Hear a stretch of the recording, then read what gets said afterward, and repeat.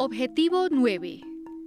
¿Cómo te gustaría que la sede Tumaco, desde su cultura organizacional, aporte a la memoria y al patrimonio cultural del Pacífico colombiano? Consolidar la cultura organizacional de la sede Tumaco implica promover la comunicación asertiva, la transparencia, la ética y la política institucional para fomentar un ambiente laboral idóneo y una transformación constante. Asimismo, reconocer la memoria histórica y el patrimonio cultural del territorio desde el diálogo de saberes.